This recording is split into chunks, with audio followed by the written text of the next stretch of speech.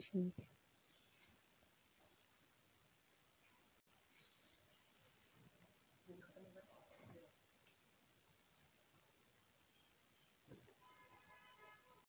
Recording started ठीक है जी, are we live, seven semester.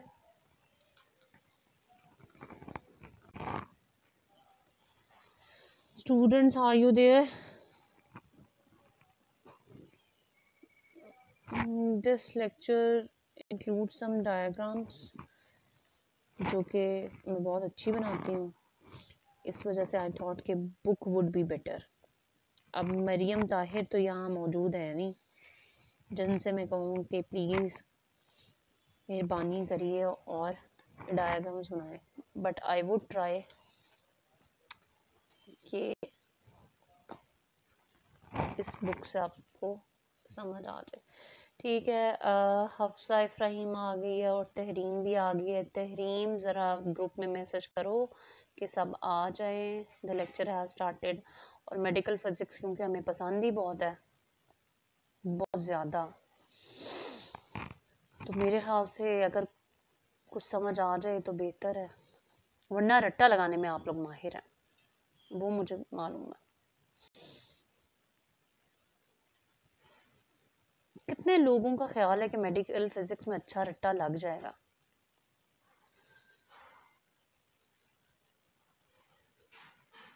लग जाएगा रट्टा तहरीम।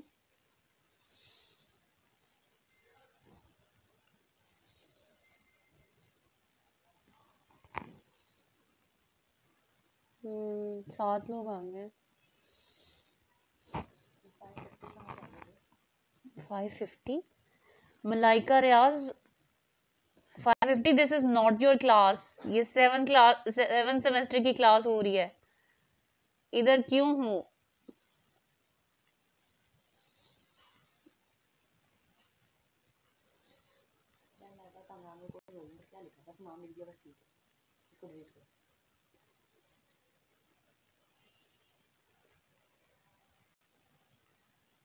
मलाइका रियाज आपको इधर नहीं होना बेटा। आपकी क्लास का टाइम ख़त्म हो चुका है, ठीक है? जल्दी से मैसेज करो और जल्दी से बाकी क्लास आ जाए तो मैं स्टार्ट करूँ। आज का लेक्चर मैंने पहले ही कहा है कि ये थोड़ा सा आज लेंथी टॉपिक हम कवर करेंगे। ठीक है स्टार्ट करें फिर? ठीक है जी। The last we talked about was grenz ray therapy और हम लोगों ने बात की थी कि इसका जो प्रिंसिपल है वो वही है जो हम लोगों ने पिछले चैप्टर में डिस्कस किया। सिर्फ़ बात ये थी कि ग्रेंस रेज में जो रेज प्रोड्यूस हो रही थी, वो अल्ट्रा वायलेट और अल्ट्रा वायलेट और एक्सरेज के दरमियान थी।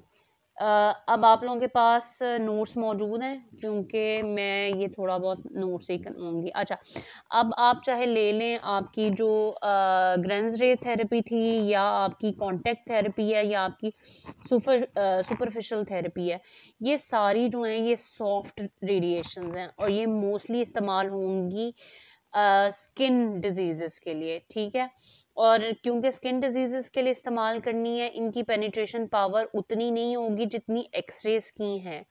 क्योंकि at that time in 1950 X rays produce करवाने के लिए हमें जो पोटेंशियल चाहिए एक्सलरेशन पोटेंशियल चाहिए वो बहुत ज़्यादा चाहिए होता था और वो तब इतना हमारे पास मौजूद नहीं था ऐसी डिवाइसेस मौजूद नहीं थी जो आपके इलेक्ट्रॉन्स को उतना एक्सलरेट करवा सकें टू हाई एनर्जी ठीक है जी? तो जो कॉन्टैक्ट थेरेपी है वो भी आ, या एंडो कैविटरी मशीन उसका ठीक है उसका पोटेंशियल कितना है? Fifty to forty to fifty watt और ये हमें वही, आपका जो एस एस डी यहाँ एक वर्ड आएगा that means source to surface distance इसका मतलब है short source to surface distance जैसे उसमें था फिफ्टीन टू ट्वेंटी सेंटीमीटर्स था आपका ग्रेंस रे में, कि अगर आपकी सोर्स जहाँ से ये रेडिएशन एमिट हो रही हैं और जहाँ पे आपने ये लेट्स अज्यूम ट्रीटमेंट देना है, वो कितना करीब होना चाहिए? वो पंद्रह से बीस सेंटीमीटर के अंदर होना चाहिए। तो यहाँ भी जो सोर्स टू सरफेस डिस्टेंस है, वो बहुत कम रखना पड़ता है। उसके बाद मशीन ऑपरेट्स ये ट्यूब करंट याद हो तो आपका पास एक ट्यूब करंट होता है और एक आपके पास हाई वोल्टेज जिस पे आप इलेक्ट्रॉन्स को एक्सलरेट करवाते हैं वो फ़ील्ड जिससे जनरेट करवाते हैं। ट्यूब करंट इसका भी बहुत कम है वो टू मिलियम पेयर है। Applicators available with such machine can provide वो कितना टू सेंटीमीटर और लेस इससे भी कम हमें चाहिए होता है। सोर्स uh, टू क्या कहते हैं सरफेस डिस्टेंस ठीक है। फ़िल्टर इस्तेमाल किया जा सकता है जो कि जो अब देखें हमारे पास ये जो यहाँ से रेडिएशन जनरेट होंगी, ये भी एक रीजन में जनरेट होती हैं। ये नहीं है कि एक specific let's assume two micro hertz की वेव जनरेट हो रही है या रेडिएशन जनरेट हो रही हैं। एक रीजन में होंगी तो अगर मुझे वो अनवांटेड रीजन नहीं चाहिए, ठीक है? इतना, और मुझे ये रीजन नहीं चाहिए, ये वाली इधर की नहीं चाहिए, मुझे लेट्स अज्यूम इसके दरमियान कोई चाहिए तो उसको हम एब्जॉर्ब करवाने के लिए कोई ना कोई फ़िल्टर लगा देते हैं। जो उस रेंज की रेडिएशंस को एब्जॉर्ब आसानी से कर लेता है। तो उसने वही कहा, वो वाली एनर्जी एब्जॉर्ब हो जाएगी। अच्छा because of very short S S D and low voltage the contact therapy beam produces a very rapidly decreasing depth dose वही स्क्रीन में स्किन सॉरी स्किन में जब ये जाती हैं तो जो इनकी डेप्थ डोज है, वो डिक्रीज होती जाती है। जैसे ऊपर हम लोगों ने बात की थी कि 90 परसेंट तो one millimetre of the skin में एब्जॉर्ब हो जाती है। और फिर बाकी जैसे जैसे डेप्थ डोज है, वो डिक्रीज होती जाती है। जैसे उसने कहा है कि इन टिश्यू में ये depth dose for that reason if the beam is incident on a patient the skin surface is maximally irradiated, but the underlying tissues are spared to an increasing degree with depth तो वही, आपकी ऊपर वाली जो skin की layer है, वो तो रेडिएट हो जाएगी। मतलब उसको तो अफेक्ट उधर तो रेडिएशन पड़ेगी, मगर अंदर ज़्यादा डेप्थ में डोज नहीं होगी। तो the dose versus depth curve और सिंपली डेप्थ डोज कर्व होता है। कि किस डेप्थ में कितनी डोज जा रही है। ऑफ़र टिपिकल कॉन्टेक्ट थेरेपी उन्होंने आगे एक डायग्राम में दिखाई हुई है। वो देख लीजिएगा। अच्छा is usable for tumours not deeper than one to two millimetre इसका मतलब है ये कैसे ट्यूमर्स को डील करेगा या कैसे ट्यूमर्स इससे हम आ, क्या कहते हैं रेडिएट कर सकते हैं, जिनकी डेप्थ सिर्फ़ कितनी हो? वन टू टू मिलीमीटर तो फिर वो बात यही कि ये भी जो कल वाली थी ग्रंस रे, वो भी स्किन के लिए डिज़ीज़ के लिए थी और ये भी स्किन डिजीजेस के लिए है। और फिर वो कह रहे हैं endocavitary X ray machine have been use in treatment of superficial rectal cancer मगर वो मेलिगेंट जो बहुत कम डेंजरस कैंसर्स होते हैं, उसके लिए ये मशीन से इस्तेमाल की जा सकती हैं। ठीक है जी नेक्स्ट इज़ सुपरफिशियल थेरेपी वही superficial therapy apply to treatment with X ray produce as potential ranging fifty से वन फिफ्टी किलो वोट वही। जो ग्रेंस रे थी, वो आपकी less than below twenty kilo watt थी, अब इंक्रीजिंग पोटेंशियल फिर कहाँ से आ गया? फिफ्टी से सॉरी फोर्टी टू फिफ्टी और अब फिफ्टी टू वन फिफ्टी तो ज़ाहिर सी बात है, अब जैसे जैसे हम आगे जा रहे हैं पोटेंशियल्स बढ़ते जा रहे हैं, इसका मतलब है जो रेडिएशन हैं, वो high energy high frequency and low wavelength की तरफ़ जा रही हैं। ठीक है अप्लाइज टू प्रोड्यूस पोटेंशियल की बात हो गई varying thickness of filtration usually one to six millimetre aluminium are added to harden the beam to our desire degree hardening का मतलब ये होगा कि स्पेसिफिकली सिर्फ़ एक वेव एक वेवलेंथ हमें या आ, कम से कम रेंज की वेवलेंथ मिले। तो ज़ाहिर सी बात है अगर तो मेरा स्पेक्ट्रम बहुत फैला हुआ है तो वो रेडिएशंस जो हैं उसमें लो एनर्जी भी आ रही होगी जो कि हमें नहीं चाहिए। तो इस वजह से हम वेरिंग फ़िल्टर्स लगा सकते हैं, जिनकी डेप्थ कहाँ से कहाँ तक होगी वन टू सिक्स मिलीमीटर्स हो सकती है, और वो उसी रेंज में अपनी फिर वो एनर्जी के मुताबिक वो अनवांटेड रेडिएशंस को एब्जॉर्ब कर लेंगे।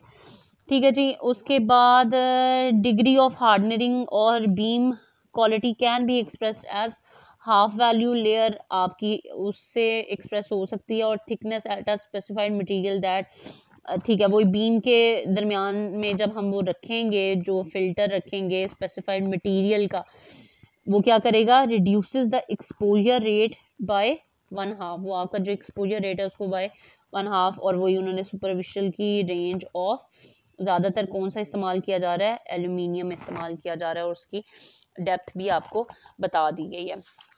ठीक है जी। उसके बाद ये ग्राफ भी देख लेते हैं और ठीक है। The superficial treatments are usually given with the help of applicators और cones attachable to the diaphragm of the machine अच्छा diaphragm is from where the radiation would be emitted जहाँ से हम इस्तेमाल करेंगे।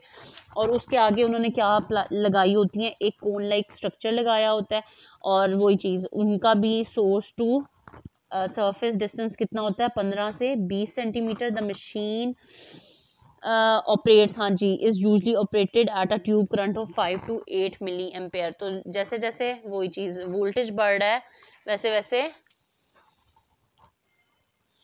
आपका करंट ट्यूब करंट भी बढ़ रहा है. अच्छा जी ये इस किताब से अगर मैं समझा रही हूँ तो क्लियर हो रही है बात? अभी तक प्रिंसिपल चेंज नहीं हुआ. जो एक्सरे या रेडिएशंस आप जनरेट करें वो वही है जो पिछले चैप्टर में डिस्कस हुआ है। क्लियर है? अभी तक इसमें कोई आ, क्या कहते हैं फिजिक्स उस तरह की नहीं आई कि मैं बताऊँ कि रेडिएशन जनरेट करने का तरीका बदल रहा है या कुछ और हो रहा है। इस वजह से मैं इसी को लेके चल रही हूँ। अगर तो कोई मसला आ रहा है तो फिर आप मुझे बता दें प्लीज़ ठीक है? और वही चीज़ यहाँ भी डेप्थ जो डील की जा सकती है, वो अबाउट फाइव मिलीमीटर डेप्थ है और beyond this depth the dose drop off is too severe to deliver adequate depth dose अगर मैं इससे ज़्यादा डेप्थ पे चली जाऊँगी तो फिर मसला हो जाएगा over dosing of the skin surface हो सकती है। इस वजह से इसकी भी डेप्थ डोज हम कितनी रखते हैं? Can I have this book ठीक है। चलें जी। नेक्स्ट जो आ गया वो क्या है आपकी? ऑर्थो वोल्टेज थेरेपी और डीप थेरेपी वही ऑर्थो वोल्टेज थेरेपी या डीप थेरेपी ऐसी ट्रीटमेंट जहाँ एक्सरेज जो हैं वो प्रोड्यूस किए जा रहे हैं पोटेंशियल अब पिछली वाली ये जो आ, हमारे पास थी सुपरफिशियल उसकी 150 मैक्सिमम थी 50 टू 150 अब यहाँ क्या हो गया? यहाँ हो गया 150 टू 500 किलो वोल्ट और वही ऑर्थो वोल्टेज इक्विपमेंट जो है वो ऑपरेट करता है। Two hundred to three hundred kilo volt पे और वही देख लें ट्यूब फिलामेंट ट्यूब करंट कह लें वो भी बढ़ गया आठ से अब ten to twenty milli ampere हो गया। फिल्टर्स भी इस्तेमाल किए जा सकते हैं ताकि जो आपकी डोज हाफ़ वैल्यू है वो कम हो सके जो भी आपने अचीव करनी है। और वो कितनी आ, क्या है आ, अब यहाँ हम लोग इस्तेमाल करें वहाँ पिछली जगह तक हम आ, इस्तेमाल कर रहे थे एलुमिनियम यहाँ one and four millimetre copper. तो उन्होंने ये मशीन दिखाई भी हुई है। उसके अलावा although one can be use to collimate collimate का मतलब है to make a straight beam तो उसके लिए वो कह रहा है कि हम क्या इस्तेमाल कर सकते हैं। अप टू डिज़ायर साइज़ अब मूवेबल डायाफ्राम हम इस्तेमाल कर सकते हैं। Consisted of lead plates permit are continuously adjustable field size अच्छा वही चीज़। लेट्स अज्यूम अगर ऊपर इस्तेमाल कर रहे थे एक कोन, इस तरह की आपने कोन अप्लाई की, लगाई होगी जहाँ से आपकी बीम आ रही है। तो ये फ़ील्ड साइज़ कहाँ तक रेडिएशंस जाएँगी, किस एरिए तक, वो हम कंट्रोल कर सकते हैं यूजिंग दीज इक्विपमेंट्स डायाफ्रेम्स और प्लेट्स जो भी इस्तेमाल करके हम ये फ़ील्ड साइज़ एक्सपोजर साइज़ को हम कंट्रोल कर सकते हैं। ठीक है जी? उसके बाद बात आ गई है कि जी shows a depth dose curve वो उनका depth dose curve ortho voltage beam का शो किया होगा डिपेंडिंग मगर ये याद रखिएगा, ये जो डेप्थ डोज कर्व है, कि कितनी डेप्थ में कितनी डोज जानी है, ये सिर्फ़ एक फैक्टर पे डिपेंड नहीं करती, ये काफ़ी सारे फैक्टर्स पे डिपेंड करती है, चाहे एच वी एल हो एस एस डी हो, आप वोल्टेज कितनी दे रहे हैं फ़ील्ड साइज़ क्या है, मगर वो कह रहा है कि कुछ जर्नलाइजेशन हम लोगों ने बना ली हुई हैं। बाकी इसमें ज़रा देख लीजिएगा, अगर कोई आपकी फ़िल्टर्स कौन से इस्तेमाल हो रहे हैं ट्यूमर्स तक हम किस तरह लेके जा रहे हैं, ये सारी बातें इसमें थोड़ी टेक्निकली हैं तो आपको इसी तरह याद करनी पड़ेंगी। ठीक है। अब नेक्स्ट आ जाते हैं सुपर वोल्टेज थेरेपी पे। अगर कोई चीज़ ना आए तो प्लीज़ क्वेश्चन पूछ लीजिएगा। अब यहाँ हम 1500 तक चले गए थे मेरे ख्याल से या 500 तक चले गए थे। हाँ 500 किलो वोल्ट तक चले गए थे ऑटो वोल्टेज में। अब इससे ऊपर जो है वो सुपर वोल्टेज थेरेपी है और जिसमें हम 500 से हज़ार किलो वोल्ट तो इसका मतलब है जैसे जैसे हम आगे जा रहे हैं हाई एनर्जी बीम्स या हाई एनर्जी एक्सरेज हमें मिलते जा रहे हैं। तो ये हाई वोल्टेज थेरेपी है और उसे क्या कह सकते हैं? Super voltage therapy high energy वही X ray beams considerable progress उन्नीस सौ पचास और उन्नीस सौ साठ में हमें हाई वोल्टेज मशीन्स मिल गई। The major problem at that time was insulating the high voltage transformers जो ट्रांसफार्मर्स हम इस्तेमाल कर रहे हैं। उनको इंसुलेट किस तरह किया जाए? क्योंकि याद रखिए, यहाँ जो इन मशीन्स में भी ट्रांसफार्मर यूज़ हो रहे हैं, जैसे हमने वहाँ बात की थी, वो स्टेप अप ट्रांसफार्मर्स इस्तेमाल हो रहे हैं। तो ये वही मसले हम लोगों ने आगे जाके डील कर दिए थे। It soon became apparent that conventional transformers जो हैं, वो सूटेबल नहीं थे ऐसे पोटेंशियल्स बनाने के लिए, जो 300 किलो वोल्ट से ऊपर हों तो फिर उसके लिए उन्होंने दूसरे ट्रांसफॉर्म रेजोनेंट ट्रांसफार्मर बनाए, जिसमें आप जो वोल्टेज है, उसे आसानी से स्टेप अप कर सकते थे। जिसकी सबसे पहले एक एग्ज़ाम्पल है रेजोनेंट ट्रांसफार्मर यूनिट्स अच्छा इसमें क्या होता है? इसकी डायग्राम इन्होंने दिखाई हुई है द सेकेंडरी जो है आपका। अच्छा अगर आप लोगों ने इलेक्ट्रॉनिक्स में एलसी सर्किट्स पढ़े हैं तो आप लोगों ने देखा है कि इंडक्टर जो हैं, वो सॉरी इंडक्टर्स मैग्नेटिक फ़ील्ड में एनर्जी स्टोर करते हैं कैपेसिटर इलेक्ट्रिक फ़ील्ड में। तो ये एक तरह से एनर्जी कंपनसेटर भी होते हैं। तो वो यही बात कर रहा है कि यहाँ जो आपकी सेकेंडरी कोयल होती है इंडक्टर की, वो कनेक्ट कर दी जाती है इन पैरेलल विद कैपेसिटर ठीक है? और वो कैपेसिटर्स क्या करते हैं? वो उन कैपेसिट वो जो कैपेसिटर हैं, जब रेजोनेंस अकर होती है उस सर्किट में तो एनर्जी ऐड कर देते हैं। जो आपकी सेकेंडरी कोयल से आपको एनर्जी मिलनी थी एनर्जी या कह लें, या जो करंट या वोल्टेज मिल रही थी, उसको, उसमें उसका एम्पलीट्यूड बढ़ा देते हैं। ठीक है, मगर एट रेजोनेंस अगर ये याद हो आई डोंट नो इलेक्ट्रॉनिक्स में पढ़ा है बी एस ऑनर्स में, मगर सेकेंड ईयर में तो लाजमी पढ़ा हुआ है। R L C parallel circuit अगर याद हो तो उसकी बात ही कर रहे हैं। तो ये वहाँ एनर्जी बढ़ा देते हैं। इनपुट फ्रीक्वेंसी वही बढ़ जाती है। Since the electrons attain high energy before striking the target are transmission type target में be use to obtain the X rays beam on the other side of the target ठीक है। Electrical insulation is provided by pressurised freon gas ठीक है जी। वही insulation जो असल ख़तरा है, जो पहले हम लोग कह रहे थे कि हमें इंसुलेटर्स नहीं मिल रहे थे ट्रांसफार्मर्स के लिए तो यहाँ फ्रियोन गैस इस्तेमाल की जा रही है।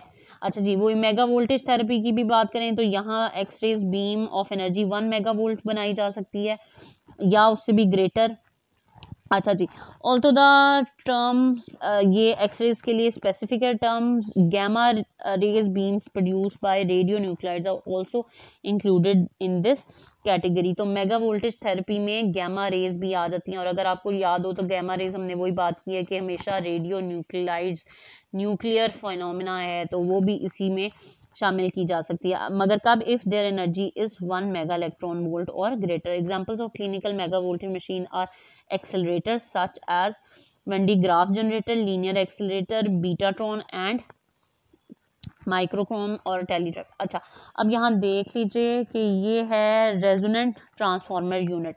अच्छा ये देखें, फिलामेंट, इलेक्ट्रॉन्स, इसका मतलब है ये बेसिक जो मशीन है, फिलामेंट ने इलेक्ट्रॉन्स एमिट करने, electrons would accelerate through a क्या कहते हैं थ्रू आ फ़ील्ड और फिर उसके बाद वहाँ से कहीं ना कहीं टारगेट पे स्ट्राइक करेगा और फिर वहाँ से एक्सरेज एमिट होंगे। और ये फोकसिंग कोयल वही चीज़, आपने कोयल लगाई है टू फोकस द इलेक्ट्रॉन्स और ये आपके आगे टारगेट मौजूद है जहाँ से आपका एक्सरेज एमिट होने हैं वही टारगेट को कूल करना है क्योंकि उसके ऊपर बहुत हाई एनर्जी इलेक्ट्रॉन्स पड़े हैं तो इट वुड गेट हीटेड मगर यहाँ जो उन्होंने आपको बताया, वो इनपुट वोल्टेज लाइन वाला बात बताई है कि यहाँ जो वोल्टेज है, इसकी सेकेंडरी जो कोयल है that is being coupled with the क्या कहते हैं कैपेसिटर सर्किट तो जो उसकी पोटेंशियल को बढ़ा देते हैं।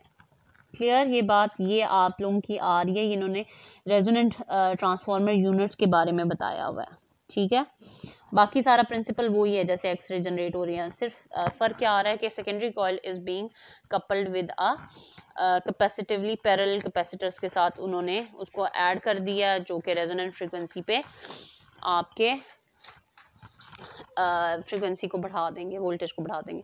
अच्छा जी, बड़ा इंपॉर्टेंट टॉपिक अब जो है, जो कि जहाँ आप थोड़ी सी मुझे फिज़िक्स समझानी पड़ेगी, मगर स्टिल वो जो ग्राफ है डायग्राम है, वो थोड़ी मुश्किल थी, मगर मैं कोशिश करूँगी कि इसी से।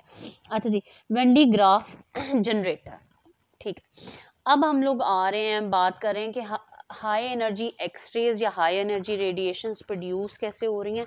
वो प्रोड्यूस हो रही हैं बाय accelerating the electrons या accelerating the particles at high energy? कोई इशू आ रहा? अच्छा लेट मी मैं पेपर में इन टॉपिक्स को कैसे अटेम्प्ट करना है? अच्छा जी, राबिया नदीम पूछ रही हैं। जी, मैं भी भेजा था, राबिया नदीम ने भी भेजा हुआ है, मेरे ख्याल मरियम, तुमने भेजा था। क्या भेजा था मुझे? पीडीएफ हाँ इसका पीडीएफ मौजूद है। अगर आप लोगों के पास अभी भी पीडीएफ नहीं है तो मैं, मेरे पास पीडीएफ वर्जन मौजूद है, मैं वो भेज दूँगी। अच्छा अगर लेट्स अज्यूम ये वाले टॉपिक्स पेपर में आते हैं तो आप लोगों ने अटैम्प्ट ऐसे करना है, जैसे सारी मशीन्स का, जैसे आप लोगों को मैंने एक असाइनमेंट दी दी थी। पहले इंट्रोडक्शन लिखा, फिर उसकी वोल्टेज लिख दी कि it operates as this to this voltage फिर लिख दिया ट्यूब करंट की हेडिंग दी ट्यूब करंट किसी का टू है, किसी का एट है, फिर टेन टू फिफ्टीन है, वो लिख दिया। फिर उसके बाद आप लोगों ने जो उसकी बता दिया कि इसकी टी क्या है सोर्स टू सरफेस डिस्टेंस कितना होता है, फिर आप लोगों ने बता दिया उसमें एक दो और बातें उसकी स्किन डेप्थ डोज बता दी कि कितनी स्किन के अंदर ये कितनी डेप्थ तक जाता है। इस तरह की बातें आप पॉइंट्स बना बना के याद कर लें, जो कि मेरे ख्याल से आसान हो जाएगा याद करना, बजाय कि ये सारी लाइंस याद करें, ठीक है? और उसी तरह, क्या कहते हैं, आप लोग, जैसे ये अब रेजोनेंस सर्किट है, उसमें थोड़ा बहुत इसी तरह हेडिंग्स बना के याद कर लें, वो ज़्यादा आसान होगा। क्या चीज़? Who said that Sana Majeed this can only be Sana Majeed Sana Majeed? अच्छा बस ये कर लेते हैं वेंडी ग्राफ जनरेटर कर लेते हैं। उसके बाद हालाँकि मैं आज चाह रही थी कि लाइन एक भी हो जाए, मगर मुझे नहीं लगता तुम लोगों ने करना सना मजीद, हिम्मत। जो चाय लेके आओ। चाय पियो और थोड़ी हिम्मत करो। है हिम्मत या सब में नहीं? हफ्जा इफ्राहिम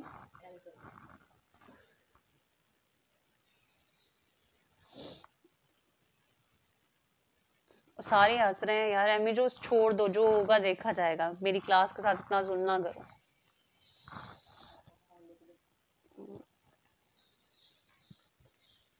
सना, हिम्मत कर लोगी?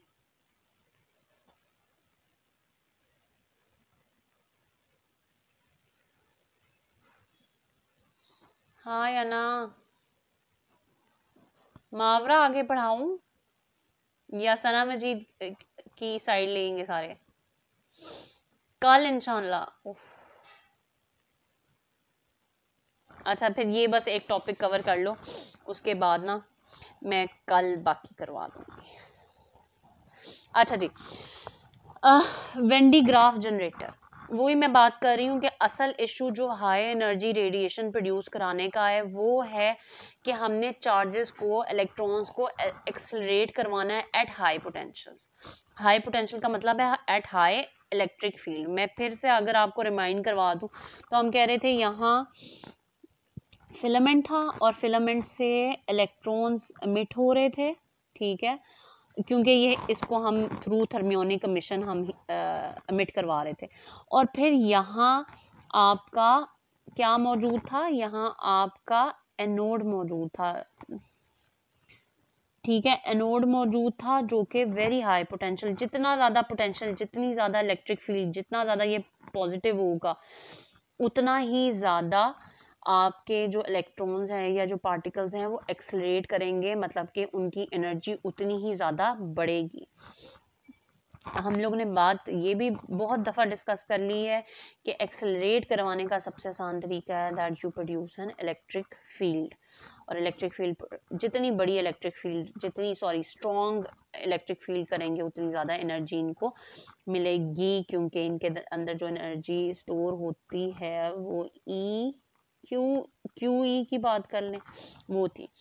ठीक है, जो फोर्स अप्लाई होती है। ठीक है?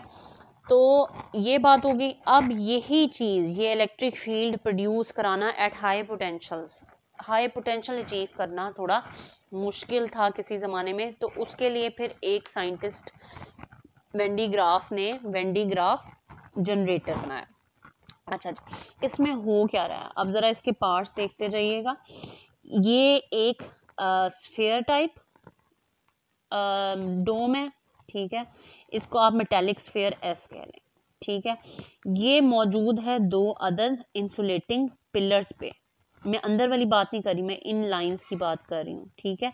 ये इंसुलेटेड पिलर्स टी वन और टी टू हैं ठीक हो गया। उसके बाद आ, इसका ये इसको डोम को मेटेलिक स्फेयर कह दिया। उसके बाद ये जो एक चीज़, ये आपको नज़र आ रही है, ये बेल्ट है। ठीक है? ये आपकी मूविंग बेल्ट है। यूजली इंसुलेटर की बनी होती है और यूजली वो इंसुलेटर सिल्क है। और ये मूव करती है बाया मोटर एक्सलेटर्स एक्सलेटर्स कह रही हूँ व्हाट आर दे कॉल्ड जो मॉल्स में हाँ सॉरी एलिवेटर्स देखे हैं ना एलिवेटर्स भी एक बेल्ट की तरह ही हैं, जो मूव कर रहे हैं through some through a motor तो ये जो है ना, ये बेल्ट मूव कर रही होती है। ये देखो, और ये पुलिस लगे हुए हैं दो P one and P two इसके ज़रिए ये मूव कर रही है, ठीक है? उसके अलावा ये एक कोम सी नज़र आ रही होगी आपको, ये चीज़, ठीक है? ये चार स्प्रेयर या फिर इसे आप इंजेक्टर कोम कहते हैं, ठीक है? और एक आपको यहाँ ये कोम सी नज़र आ रही है, ये चार्ज कलेक्टर है, ठीक है? ये क्या है? ये चार्ज कलेक्टर है। तो सी वन और सी टू कंडक्टर्स हैं। पहला स्प्रे कोम है, जो सी वन को कह हैं इस वाले को। और दूसरी जो है, वो कलेक्टिंग कोम है, जिसे हम सी टू कह रहे हैं, ठीक है? अच्छा जी, इसका प्रिंसिपल देख लें। और ये वही चीज़, ये इस्तेमाल किस लिए हो रहा है? एक्सलरेट करवा रहा है पार्टिकल्स को। अच्छा जी प्रिंसिपल क्या है? Discharging action point and collecting action of hollow conductor अच्छा अब ये दोनों जो सी वन है, जैसे मैं सी वन कह रही हूँ चार्ज पेयर और चार्ज कलेक्टर ये दोनों कंडक्टर्स हैं तो ये ये डिस्चार्ज कर रहा है मतलब कि ये इंजेक्ट कर रहा है आपके चार्जेस को और ये यहाँ कलेक्ट कर रहा है। अच्छा और ये याद रखिएगा जो जो चार्ज कलेक्टर है, जिसे हम सी टू कह रहे हैं this is connected with this fair या जिस, इस डोम से ये कनेक्टेड है। और ये बाकी सारा जो सेटअप है, ये एक्सरे ट्यूब है, इसको भी आराम से बाद में डील करते हैं। अच्छा जी, यहाँ हो क्या रहा है? ज़रा यहाँ देखिएगा कि यहाँ twenty to forty kilo volts हम अप्लाई कर रहे हैं सिर्फ़। मगर एक टर्मिनल जो है दैट इज़ ग्राउंडेड और ये इस वाले को ठीक है पॉजिटिव हम लोगों ने कनेक्शन दिया हुआ तो यहाँ से, ठीक है, यहाँ से आपके जो इलेक्ट्रॉन्स हैं would jump to this belt और ये जो कॉम है, ये याद रखिएगा, ये इस बेल्ट के साथ बिल्कुल कनेक्टेड है। ठीक है?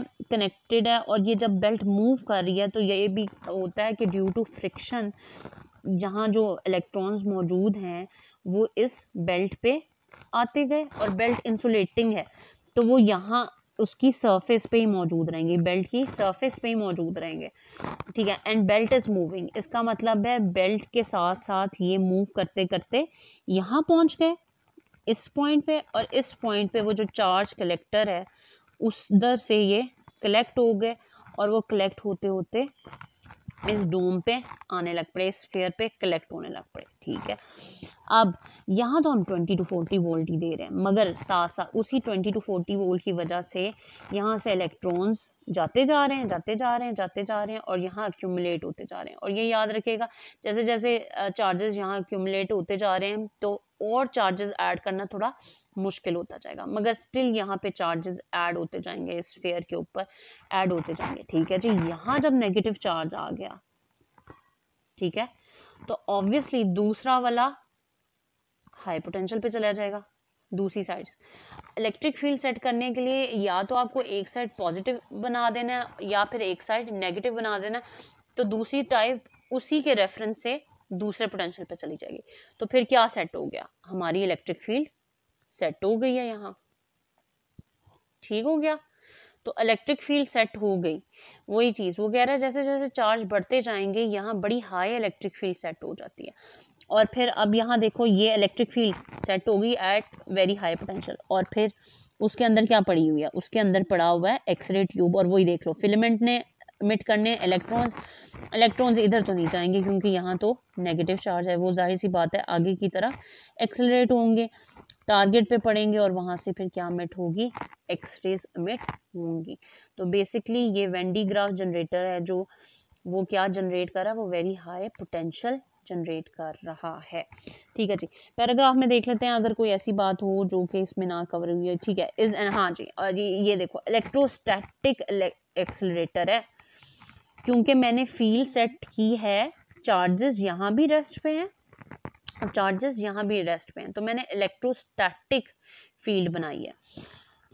Design to accelerate charge particle, ठीक है, चार्ज पार्टिकल को एक्सलरेट करता है। In radio therapy the unit accelerate electron to produce high energy x-rays, typically at two mega volt तक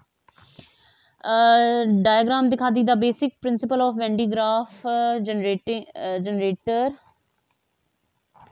ठीक है। मशीन में चार्ज वोल्टेज कितनी है? Twenty to forty kilo volt apply किया across moving belt of insulating material है और जो कि सिल्क होता है। Corona discharge take place and electrons are spread on to the belt वो चीज़। कोरोना डिस्चार्ज का मतलब होता है कि जहाँ पॉइंट लाइक डिस्चार्ज यानी कि अगर ये आपका कोई पॉइंट है ना तो यहाँ चाहे दरमियान में एयर भी मौजूद है स्टिल यहाँ से इलेक्ट्रॉन जो हैं, वो इस इस सरफेस पे जा सकते हैं ये कोरोना डिस्चार्ज होता है। यानी कि वो डिस्चार्जेस जो एयर में होते हैं। ठीक हो गया? आ, जैसे अगर आप बात करें ना ये बिजली जो चमकती है वो भी कोरोना डिस्चार्ज ही क्योंकि वो एयर के में से हो रहे हैं। ठीक electrons are spread on to the belt these electrons are carried to the top where they are remove by collector connected to the spherical dome वहाँ सारे इकट्ठे होते गए कलेक्ट ऑन द स्फेयर और high potential is develop between the sphere and the ground के दरमियान high potential आ गया. This potential is applied across किसके अक्रॉस अप्लाई हो रहा है? एक्सरे ट्यूब के अक्रॉस अप्लाई हो रहा है और उसी की वजह से और एक्सरे ट्यूब में क्या है? फिलामेंट है सीरीज़ ऑफ़ मेटल रिंग्स हैं और टारगेट है. The rings are connected to register to provide a uniform drop of potential from the bottom to top x-rays are produce when electron strike the target तो Van de Graaff are capable of reaching voltages up to twenty five mega volt हम apply सिर्फ़ कितनी कर रहे हैं? हम twenty to forty kilo volt apply कर रहे हैं ten raise to power three मगर इवेंचुअली मुझे कहाँ तक मिल सकता है? ट्वेंटी फाइव मेगा वोल्ट तक मिल सकता है। Limited only by size and required voltage insulation वही चीज़ वो कह रहा है, अगर लिमिटेशंस आ रही हैं, वो साइज़ बढ़ाना पड़ेगा मुझे। क्योंकि देखें, एक स्फेयर जो है, अगर छोटा साइज़ है तो उस पर जो चार्ज एक्यूमुलेशन है, जितनी भी हो सकती है उसके साइज़ पर डिपेंड करेगी। तो इसके लिए साइज़ पर बड़ा करते जाना पड़ेगा हमें। अच्छा normally the insulation is provided by mixture of nitrogen and carbon dioxide और सल्फ़र हेक्सा फ्लोराइड ठीक है इंसुलेशन इससे प्रोवाइड की generator is enclose in steel tank and is filled the gas mixture at pressure of about twenty atmosphere पर ये भरा जाता है इंसुलेशन के लिए। ठीक है unit for clinical use are no longer produce commercially नहीं बनाए जा सकते क्योंकि जो टेक्नोलॉजी बेटर हो गई सच एज सिक्सटी यूनिट और लीनियर एक्सलेटर्स जो कि हमने आगे कवर करना था लीनियर एक्सलेटर्स को लाइनेट भी कहते हैं। ठीक है इसका सबसे बड़ा जो हमारे लिए आ, मसला इंसुलेशन का था तो आगे जो हम बात करेंगे लाइनक्स की लीनियर एक्सीलेटर्स की उसमें सारा कुछ कंप्यूटराइज होता है। इस वजह से they are more easy to use और साथ में कोबाल्ट सिक्सटी के यूनिट्स को हम आगे डिस्कस करेंगे। कोई सवाल? ये एक दफ़ा देख लो चाहे। ठीक है? अब यहाँ इसको वेंडी ग्राफ जनरेटर आ जाए।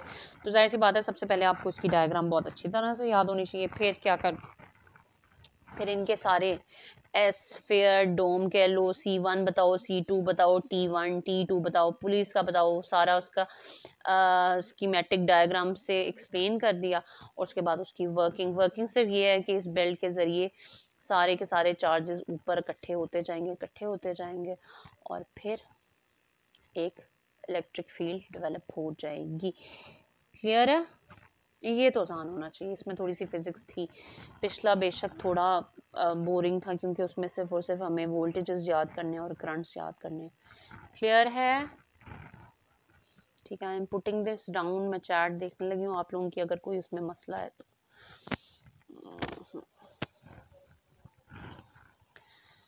अच्छा जी clear class why on Monday आज क्या दिन है? नहीं Monday Hafza Ifrahim may be मैं मंडे ट्यूसडे वेनसडे ना सिर्फ़ तब तक ना लूँ, क्योंकि ये टॉपिक्स अगर मैं ऐसे ही गुजार दूँ ना, जैसे आपकी बाकी टीचर्स करवा लेती हैं कि अच्छा ये ऐसे ऐसे ऐसे हो गया तो फिर तो मैं ये पूरा चैप्टर एक दिन में कवर करवा दूँ। मगर गलती से टी टू का सिलेबस मैं बता दूँगी, इतनी फ़िक्र ना करो मैंने लेना टी टू मगर फिर बता दो, या तो मैं पूरा चैप्टर कवर करवा दूँ। कौन है फातिमा अली? फातिमा अली इस तहरीम ना? अच्छा जी, बता दें। क्लियर है टॉपिक पहले तो ये बता दें। वेंडी ग्राफ जनरेटर समझ आ गई है। तो फिर हाँ जी, वही मैं बता रही थी, हो सकता है मैं Friday Saturday throughout the week थोड़ी थोड़ी देर की क्लास ले लूँ, इतनी लंबी नहीं लूँगी। थोड़ी देर की क्लास ले सकती हूँ मैं। तो ये चलेगी। वरना मुझे कोई मसला नहीं है, मैं मंडे टू वेनसडे लेके उसी तरह कवर करवाऊँगी। फिर समझ जाओ किस तरह cover करवाऊँगी। Hina Mughal if it's convenient, then it's okay ठीक है जी। मुझे कोई मसला नहीं है। मैं थर्सडे आई गेस शायद थोड़ी uh, मुश्किल अभी नहीं कल तो इनशाला हो जाएगी। पर हो सकता है कि अगर नेक्स्ट थर्सडे से हमें कॉलेज बुला लिया गया uh, क्योंकि हमें भी एक दिन कॉलेज बुलाया जा रहा है तो फिर देख लेंगे कि शेड्यूल क्या बनेगा। मगर मेरी कोशिश यही है। ठीक है जी? ओके अब इसके नोट्स बना लेने हैं वेंडी ग्राफ जनरेटर के, जिस तरह मैंने कहा था कि हाँ कंप्यूटेशनल की भी मावरा, क्योंकि एक्सरसाइजेज इसकी बहुत लंबी हो जाती हैं, फिर आप कहते हैं कि इसका जवाब नहीं निकला, इसका जवाब नहीं निकला तो मैं कोशिश करूँगी एक या दो क्वेश्चन कवर होते जाएँ। Clear okay ji. We are done for today कल तो हफ्जा इट इज़ वेनसडे क्या कल वेनसडे नहीं है? आज ट्यूसडे क्या आज वेनसडे है? आज वेनसडे अच्छा कल there would be a class चाहे छोटी सी हो, मगर मैं क्लास ले लूँगी. ठीक है? ओके जी. अल्लाह हाफिज़. I.